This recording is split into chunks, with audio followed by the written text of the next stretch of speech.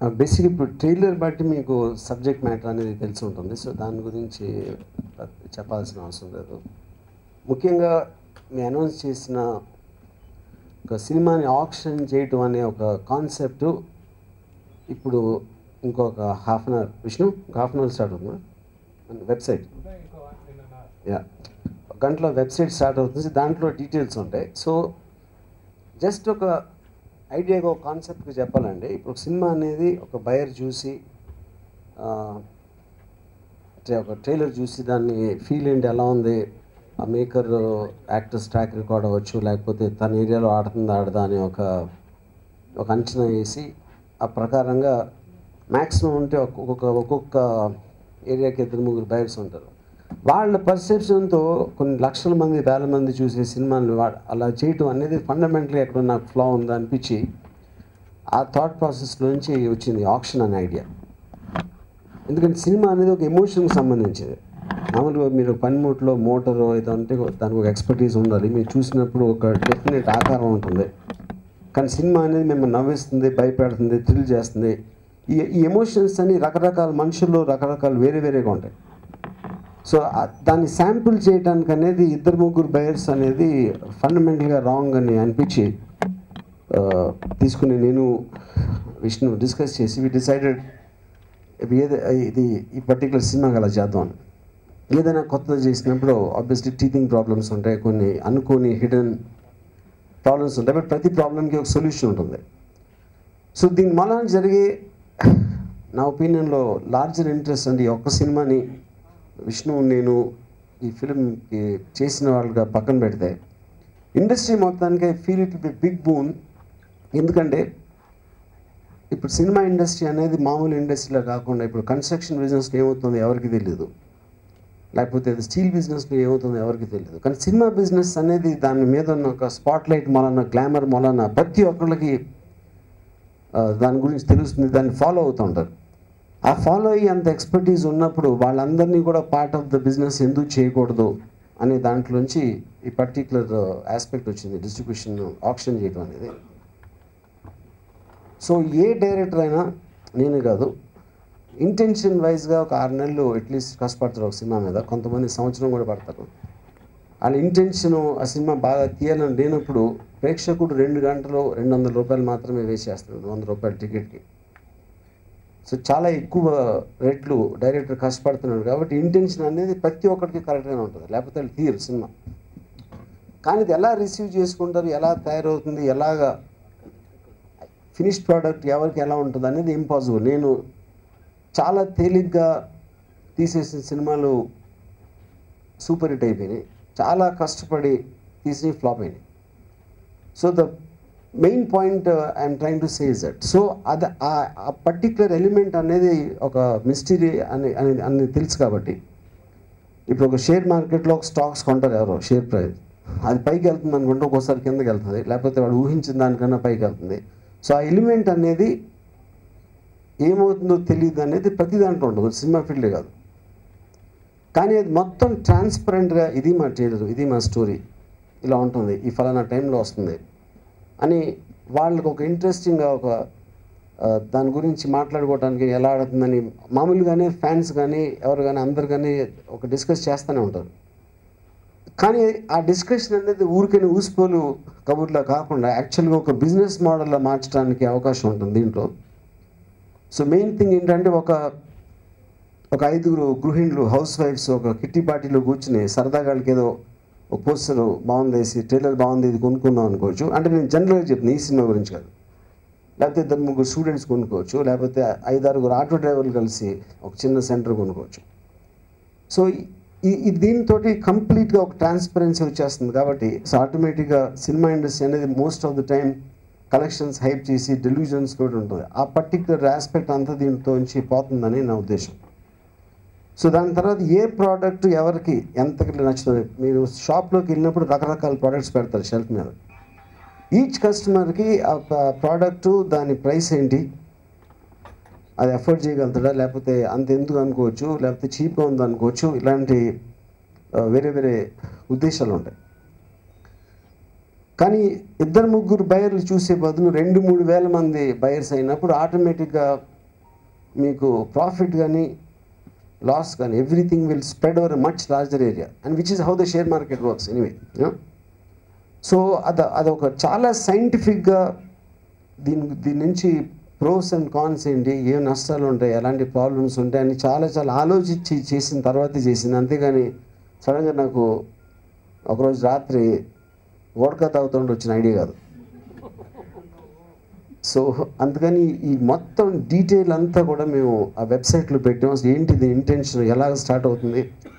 ఆ A I mean ఏ ప్రొసీజర్లో దీన్ని కొనదలుచుకున్న వాళ్ళు కానీ బిడ్జ్ చేయదలుచుకున్న వాళ్ళు కానీ ఏమేమి చేయాలి అనేది చాలా చాలా క్లియర్గా ఆ website film option dot in అనే వెబ్సైట్ ఇంకో గంటలో అది ఆన్ అవబోతుంది. దాంట్లో క్లియర్గా క్లియర్గా తెలుస్తుంది.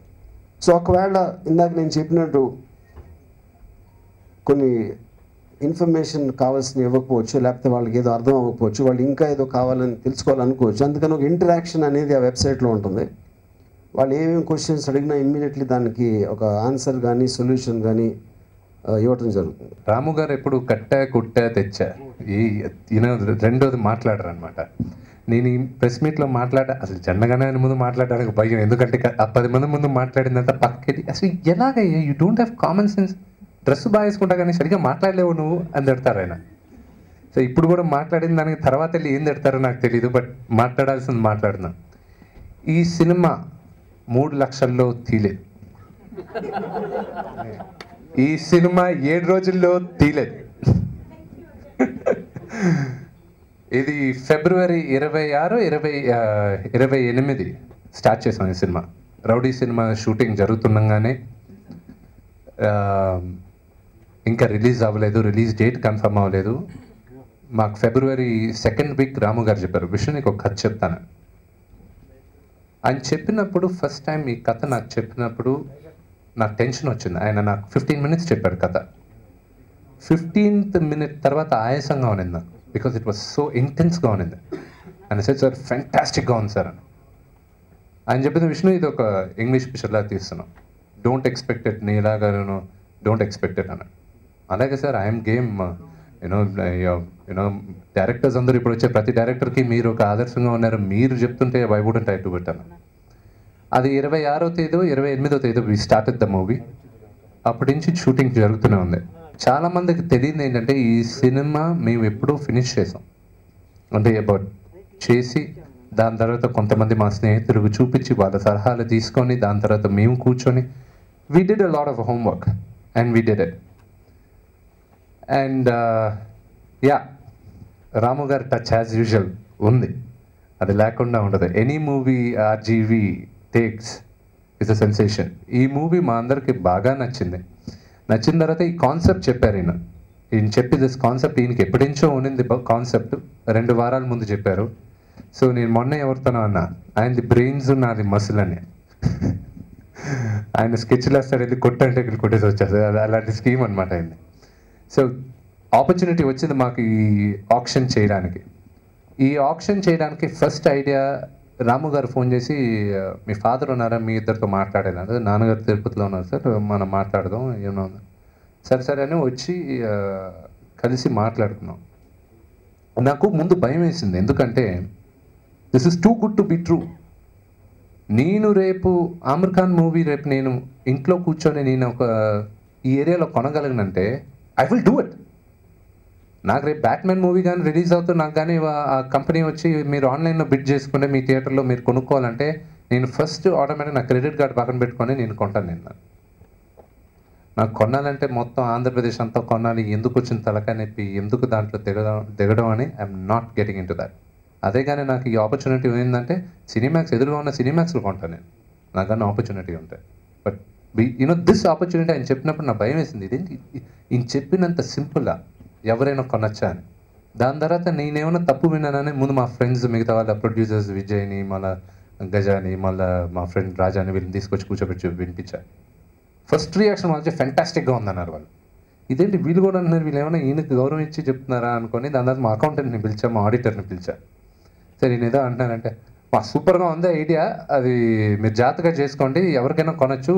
ఈజీగా ప్రాఫిట్స్ ప్రొడ్యూసర్కే వస్తాయి వాళ్ళకే వస్తాయి. బేస్ ప్రైస్ కదా అందరికీ ఈజీ అయిపోద్ది అని. దాని తర్వాత నాన్నగారి దగ్గరికి వెళ్ళా. మా నాన్న ఎలాగ అప్రోచ్ అవ్వాలో నాకు తెలియదు ఎందుకంటే రాము గారు చెప్పినట్టువి they too you know out of the box. ఇన్ని సంవత్సరాలు ఒక ట్రెడిషనల్గా డిస్ట్రిబ్యూషన్ సిస్టమ్ అని అలవాటు పడిన వాళ్ళకి సడన్గా వచ్చి వేలం వేస్తున్న సినిమా అని అంటే ఒక షాక్ ఉంటుంది ఆ మాట వినడానికి. నాన్నగారు కరెక్ట్ టెన్ మినిట్స్ విన్నారు. వినిన తర్వాత ఫెంటాస్టిక్ మనం చేస్తున్నాం అన్నారు. దాని తర్వాత సరే మా నాన్నగారు ఏమన్నా ఈయన ఈయన నాన్నగారు రాము గారు చాలా క్లోజ్ వీళ్ళు ఈయన కాదనిలాగా ఆయన ఏమన్నా అన్నారని నేను దాసనారాయణ అంకుల్ దగ్గరికి వెళ్ళా. అంకిల్ ఒక రెండు నిమిషాలు మాట్లాడతాను.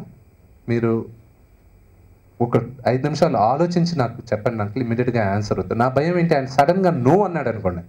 I I will not do it ఎందుకంటే ఆయన కాదని చేసేది కాదు కదా. సలహా అడిగాం. మొత్తం ఐడియా చెప్పాను. ఇలాగనో ఇలా ఇలా మేము చేయాలనుకుంటున్నాం ఆప్షన్ చేయాలనుకుంటున్నాం. ఆయన విని చెప్పనారా అన్నాడు. కరెక్ట్గా ముప్పై సెకండ్లు కూడా చెప్పనారా అన్నాడు.